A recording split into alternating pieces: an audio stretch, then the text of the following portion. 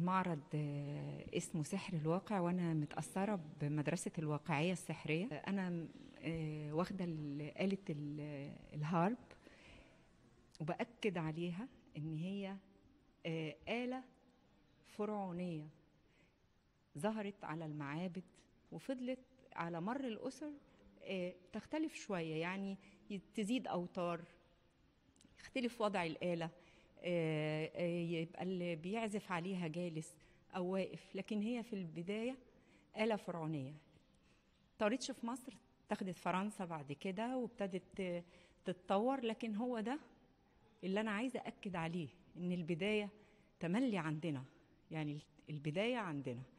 آه، مش تحيز دي حقيقة. آه، وحبيت أربط ال- الكمان آه، آه، على اعتبار ال- ال- الحداثة ولكن كله بيمتد لو تلاحظ حضرتك ال ال الإيدين بتاعة حتحور آه، هي المنبع وبعد كده بقى يليها ما يشاء حتى البيانو تحت الراقصة اللي على البيانو ما تجمع ما بين الفرعوني وما بين الحديث. يعني ال- اللوحة فيها كتير قوي. الجدارية دي عزيزة عليا قوي لأنها بخامة الإزاز المعشق. آه، وأنا بحب الخامة دي قوي. آه، وهي معمولة بتكنيك مش لحام لكن مستخدمة فيها آه، خامة الإزاز المعشق. هي بتعبر آه، عن لعبة آه، مش كتير بيعرفوها يعني وبيفتكروا إن هي آه، آه، يعني جاية من آه، هي لعبة كانت زمان اسمها الكورة والصولجان. وكانت موجودة برضو على ال- المعابد في آه، بني حسن بس كانت الكورة عبارة عن طبق أو حلقة فكانوا المصريين القدماء بيلعبوها. اللوحة جدرية من ثلاث لوحات.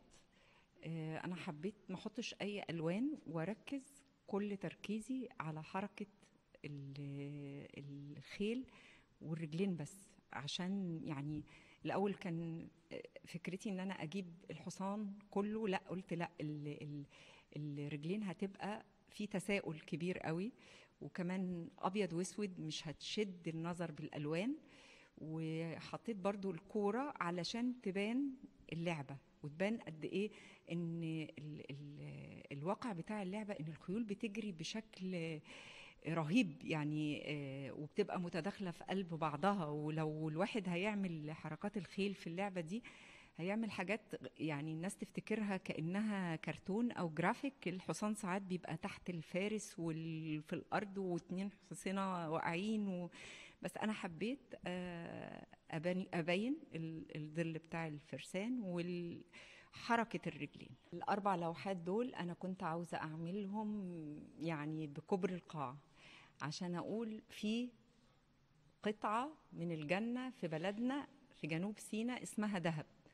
هي اتسميت دهب عشان لون ال ال الرمل بتاعها لون الذهب فيها حاجات يعني أنا يعني أعتبر نفسي اتأخرت قوي عشان أشوفها. يعني شجرة المنجروف اللي أنا شايفاها دي آه، دي شجرة بتنمو آه، في البحر الأحمر وفي أربع بلاد بس. ودي صديقة للبيئة هي ب- يعني آه، بتنمو في الميه المالحة و- ولها فوائد كتيرة جدا وبتيجي تستريح عليها الطيور ال- المهاجرة. آه، دلوقتي في في الأمم المتحدة دعوة لزراعة شجرة المنجروف آه، علشان هي تعتبر مسمينها اسم إنها بلوعة الكربون بتسحب الكربون. وطبعا عارف حضرتك ال- البيئة دلوقتي إحنا ال- الكل متجه لأن إحنا نحافظ على على البيئة.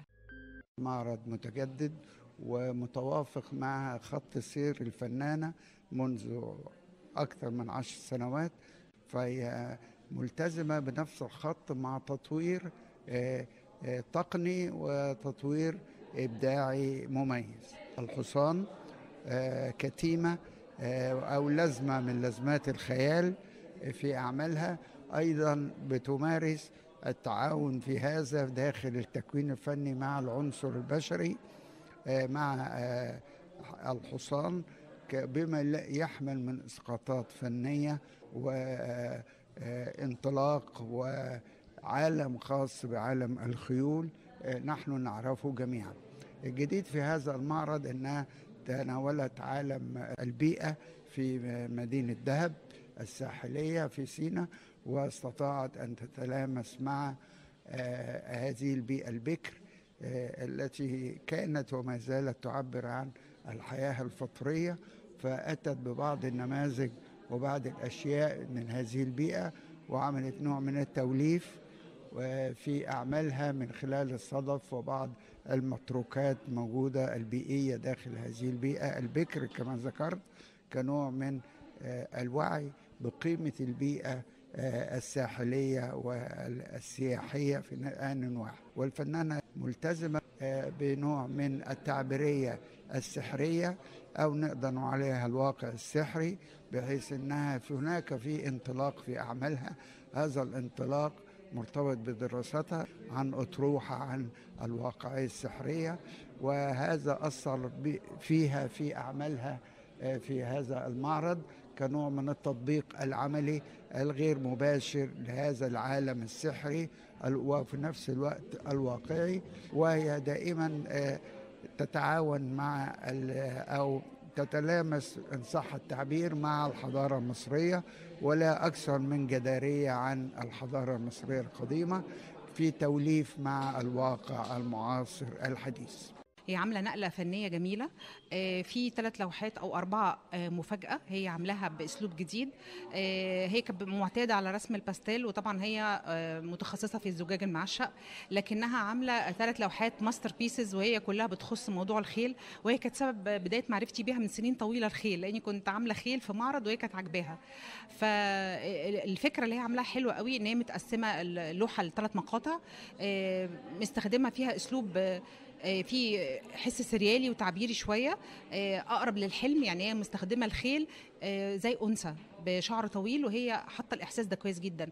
فكرة رجول الخيل في السبق أو في حالة الانطلاق فكرة أنا بحييها عليها والأداء بتاعها برضو عالي جدا. وفكرة إن هي اختارت تشتغل بثلاث tone ات الرمادي والأسود والفاتح يعني half tone ولون وسط وكده يعني دي حاجة جميلة جدا. الباستيل طبعا هي متميزة فيه مقدمة فيه برضو وجوه ودراسات للبورتريهات للحصنه أو للخيل. في المجمل المعرض مبهج وهي بتحب التجريب فمياله إنها تستخدم خامات استخدمت زلط استخدمت ورق ذهب وده أفضل حاجة في الفنان إن هو طول الوقت يجرب يعني ما يبقاش في حدود ليه أو ما يبقاش في ليه حاجة نهائية يبقى خلاص خلص على كده. الفن ما فيهوش حاجة ثابتة. الفن كل واحد بيبقى من وجهة نظره إيه ال masterpiece بتاع أي معرض. هي حطها في واجهه دخلة المعرض. طبعا لالوانها المشرقة ولأن هي فيها حس فرعوني ولأنها هي فعلا لوحة حلوة. يعني هي كحس فرعوني هي عالية. واللوحة الثانية بتاعت برضو أخناتون هي لوحة عالية أو انفرسيزي لكن أنا بقول لك من وجهة نظري أنا أنا شايفة إن اللوحات الكبيرة بتاعت الخيل من وجهة نظري أنا هي ال masterpiece بتاعتها. لكن كعنصر جذب لوني للجمهور العادي أو المتلقي العادي هي اللوحة اللي هي حطها في صدارة القاعة. الفنانين القلائل اللي اعتمدوا على دمج الرومانسية اللي هي المدرسة الرومانسية بالواقعية.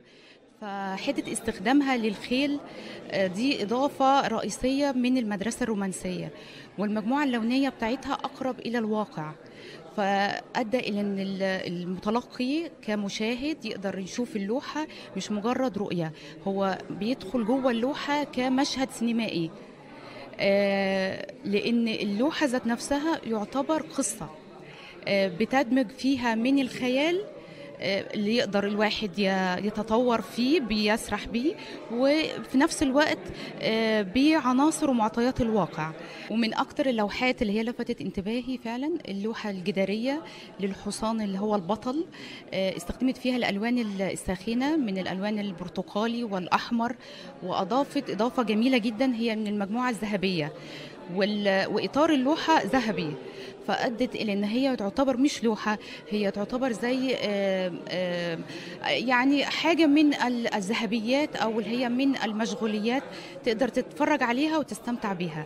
فده معرض بصراحة زخم بكل أنواع اللوحات بمختلف الأنواع.